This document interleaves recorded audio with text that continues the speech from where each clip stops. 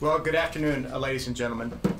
General Dunford and I just returned from the White House, where we met with the President and his national security team to discuss options to deter Iran's continued aggressive behavior. As we have seen, the Iranian regime is waging a deliberate campaign to destabilize the Middle East and impose costs on the international economy. In recent months, Iran has increased its military activity through direct attacks and support to its proxies in the region.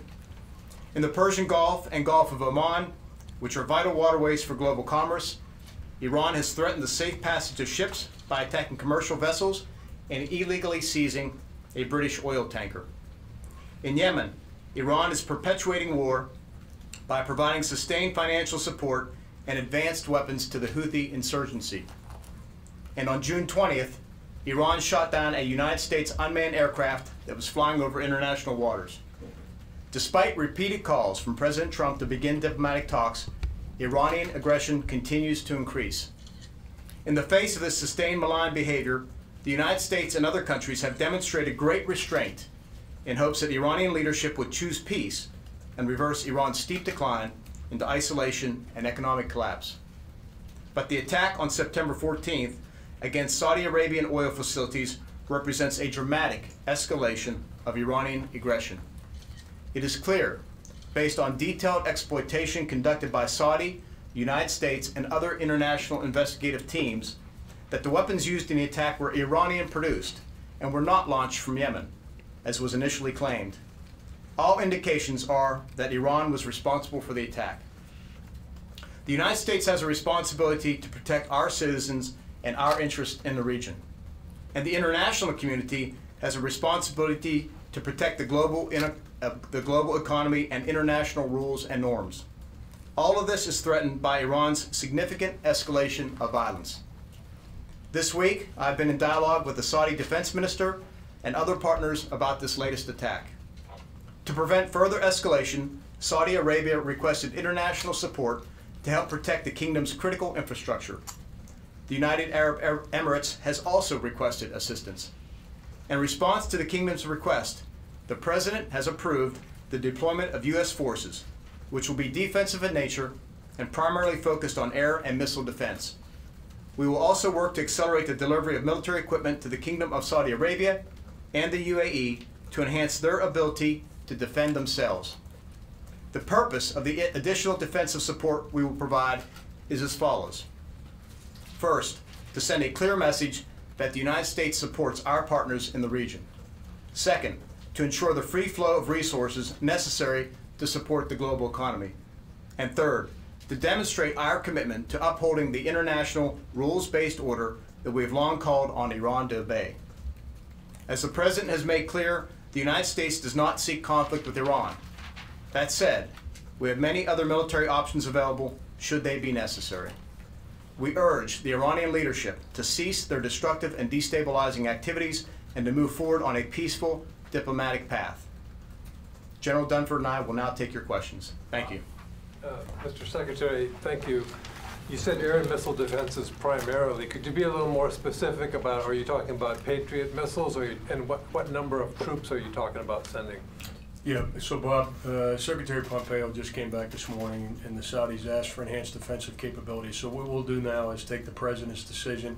I'll talk to CENTCOM over the weekend. We'll talk with our Saudi partners and we'll work the details of the deployment, and we'll be able to share that with you next week. So there's been no decision on specific numbers? We haven't decided on specific units. Uh, broadly, as the Secretary said, it'll be capabilities to enhance their air missile defense. It's now my job to come back with the sec to the Secretary with the details of, uh, of what we believe uh, would meet the Saudis' uh, requirements and is sustainable.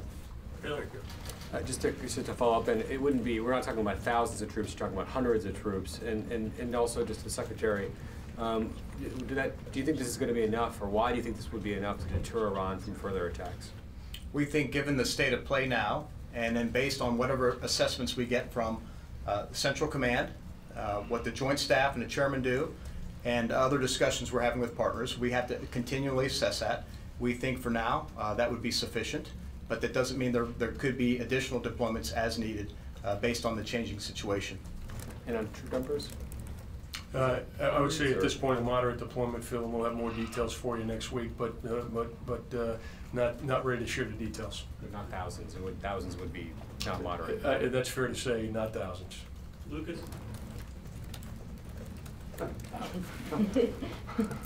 Are there any plans, are there any plans to hold the Lincoln Strike Group any longer than currently planned? We're not going to discuss any operational details at this time.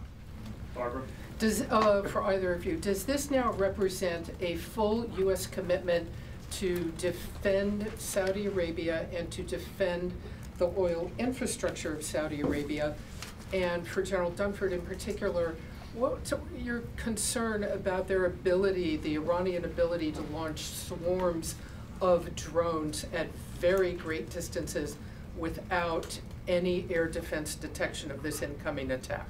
So uh, what I, what I'd say, Barbara, in terms of uh, what we're doing is we're contributing to Saudi Arabia's defense. We would be looking, as the Secretary said, for other international partners to also contribute to Saudi Arabia's defense.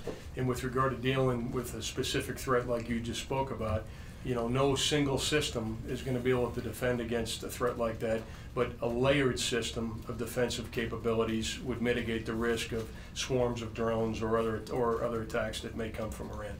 I want to double down on the chairman's comments uh, two ways. First of all, uh, I agree. What we would be deploying to the theater would be what would what would be necessary to help support and contribute to uh, the kingdom's defenses. And at the same time, we're calling on many other countries who would ha- also have these capabilities to do two things. First of all, stand up and condemn these attacks. And secondly, look to also contribute defensive capabilities so we could defend those things that I outlined in my remarks, whether it's the infrastructure in Saudi Arabia, and then the broader issues with regard to freedom of the seas, navigation in the Strait, and then the international rules and norms that, that Iran is clearly violating. Courtney? So should we take this as this is the president's decision about the response to the attack in Saudi Arabia, and there's not a kinetic response that we should expect from the United States? This is the first step we're taking with regard to responding to these attacks, and again, for the reasons I outlined, to help the bolster the defenses of uh, Saudi Arabia and provide equipment to both the Saudis and UAE. A second, to uh, uh, to uh, ensure the free flow of commerce through the Strait, and third, to ensure we protect and defend the international rules-based order, and try and convince the uh, uh, the um, Iranians to get back on a diplomatic path.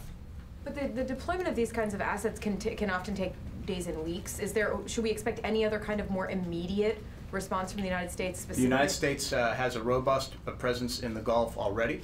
Uh, We bolstered it further in May, so we feel quite capable, cap- uh, quite confident in in terms of our own defensive posture and our ability to do anything else as necessary. But that's not where we are right now. Right now, we're focused on helping the Saudis improve their defenses of that infrastructure. All right, last question, Nancy. Um, Mr. Secretary, Chairman Dunford, you've mentioned that the international community should get involved, but you know some allies have questioned whether the attacks were in fact launched in Iran. I was wondering if you could give us any sense on whether you will um, declassify any um, evidence that shows that those strikes were launched from Iran, and also if you could give us a sense of timeline in terms of when these deployments could start. So I'll say a few things. First of all, uh, the United States is on the ground in Saudi Arabia. The Saudi Arabians are leading the, this investigation, and will, we will keep them in the lead with regard to the forensics. So we need to let that play out and let the evidence play out. Uh, with regard to the uh, partners and allies, first of all, I would commend Secretary Pompeo. He's been on the phone and on the road the past few days, speaking to numerous allies and partners about, uh, about this incident. And regardless of where you think it came from, the fact is uh, the Saudis were attacked by both drones and cruise missiles and are still vulnerable to attack. So asking allies and partners to contribute resources to help them defend themselves and to defend those things I spoke about, I don't think it's too much of an ask given the situation. And we'll work the details, Nancy, over the weekend, and I'll come back to the Secretary early next week with some specific recommendations.